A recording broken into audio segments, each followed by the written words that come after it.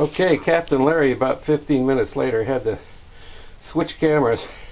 Here's everything out of the Calor cooker except the uh, burner for the oven. Left burner, broiler burner, right burner, uh, flame shields for the broiler. Here's the gas manifold, all one piece. As I said, it's a tube with. Get this up here where we can see it. Four valves let into it. And uh, here's the suspect uh, flexible pipe which I imagine is what is leaking. Here's the cooker with the stuff out that manifold was held in by two screws there and one in the corner. The ones in the corner are tall with a standoff uh, a nut and I'm not sure why but uh, other ones I've seen on a net are that way. The other ones are just little self-tapping screws. So one, two, three, a tall one, four, five, six, tall one. That's the only thing that holds that in. Take a little screwdriver and you pry the pry the uh, oopsie uh,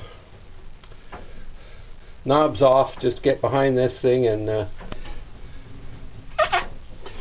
pry it out gently they come right off.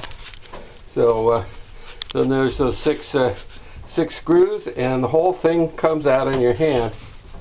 Now what I've done here in the Fisher because this copper pipe wants to suck back in the woodwork where you can never get it again is I've taken one of these spring clips that holds the, the burners down and I've used it to hold this copper pipe in the fitting here so that otherwise the spring of the copper pipe will suck it right back inside. So I just did that and I think I'm going to make some kind of a U-shaped uh, piece there, uh, maybe out of plywood or something that won't cut the tube and uh, just keep that captive like that.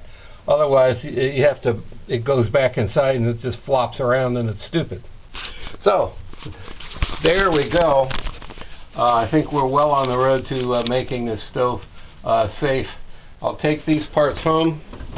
Uh, I'll put some compressed air and a gauge on the manifold and see if it leaks. Uh, test it with soapy water. I don't need to use propane. Compressed air is fine. And uh, if it leaks, we'll find the leak and uh, weld it up and uh, fix it that way. If it doesn't leak, uh, we'll just take a wire brush and sandpaper to it um, and paint it all. I got some nice high temperature enamel, 1200 uh, degrees, so I'm going to do that. You can see that these burners originally, I don't know if you can see it or not, originally had some black paint on them. I thought they were baked enamel, but I think it was just black paint. And it's burned off, rusted off over time. So we'll wire brush those, get them nice, and uh, put some high temperature enamel on them again. They'll look like new. So there you go.